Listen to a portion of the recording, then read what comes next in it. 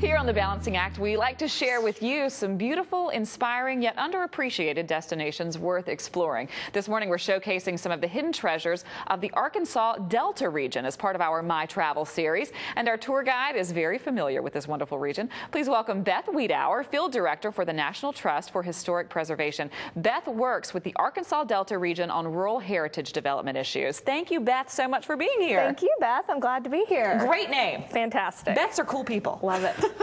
Before we get to this uh, beautiful region, the Arkansas Delta, I want to talk a little bit a little bit about you. What drew you to this kind of work and to this particular region?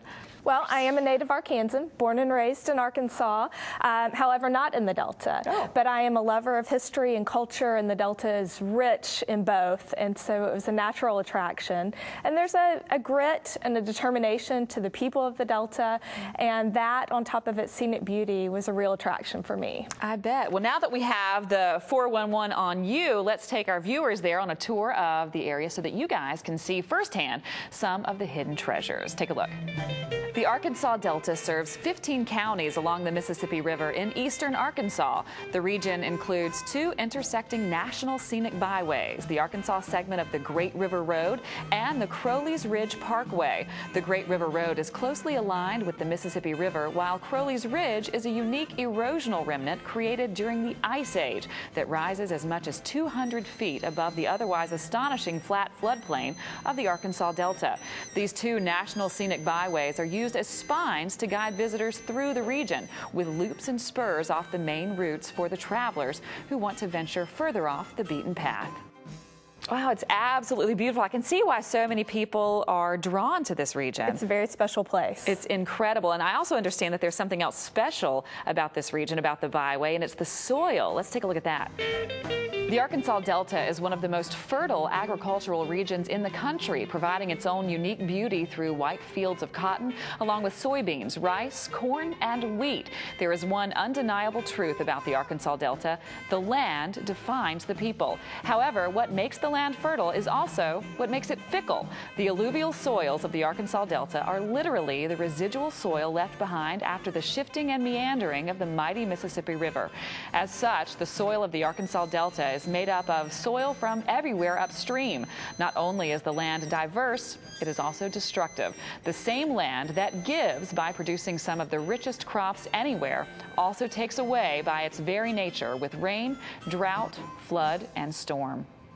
Now, that is also fascinating. So there must be a, a love-hate relationship, if you will, with, with the soil. There is. In fact, it's, it's both beautiful and bountiful. It's a truly unique landscape, but uh, that relationship between the people and the land uh, is very special.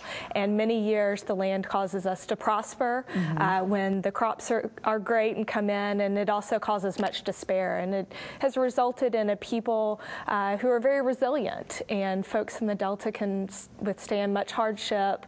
Um, and I think you see that manifest in our music and our culinary traditions and heritage throughout the region. That leads me to my next question because there, there, that would define the music, the emotion, everything that goes along with this love-hate relationship. Absolutely. The music of the Arkansas Delta is, has had an incredible impact on American music from Sonny Boy Williamson to Robert Lockwood to Sister Rosetta Tharpe and Johnny Cash. The music of the Arkansas Delta is the music of America. So we're talking blues, jazz, everything you think about when Absolutely. you think about the American musical tradition. Absolutely. It was born out of that hardship and that love-hate relationship with the land right here in the Delta. Now, I understand that you have some Arkansas Delta trivia questions for me this morning. We do. We've got a couple of trivia questions. Okay. We'll see if we can stump you. Okay. Uh, let's see. What town was uh, closest to the nation's largest maritime disaster? Even larger than the Titanic. Larger than Titanic. Um, we're talking about the Sultana. We are. We are. Great so job. I'm guessing Marion. You might be correct. Am I correct? You are correct. In 1865, at the end of the Civil War, the Sultana was uh, carrying back uh, both Union and Confederate prisoners of war from Vicksburg and had just departed from Memphis when it exploded wow. with over 1,800 passengers. 1,800. So a huge disaster. 1865. Yep. Let's see if we can move a little further uh, north.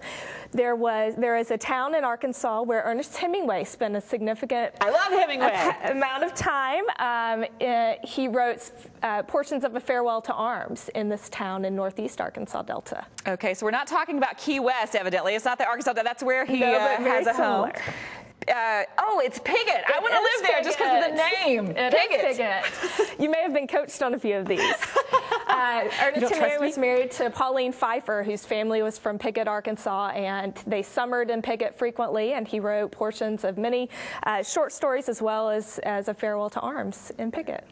And you have one more question for me, I right? do. Here's the clincher. Okay. What famous American musician was raised in a New Deal colony agricultural experiment in northeast Arkansas Delta? In northeast Arkansas Delta. Can you give me a hint? A little town named Dyess. What did he sing? Oh, there was a little song called Walk the Line. Okay, that had to be Johnny Cash. It was Johnny There Cash. was a movie too. There was that. Johnny Cash is one of our uh, better known musicians of the Arkansas Delta, and we proudly claim him. A rich history, Absolutely. Arkansas. Absolutely. Thank you so much for joining us this morning. This has been a lot of fun. Thank you, and come see us in the Delta. Next time we go to vacation, I'm taking my husband. We're coming to the Arkansas Delta. Fantastic. We'll look for you. We appreciate you being here. Thank you. Now, if you would like more information, you can visit the website deltabyways.com.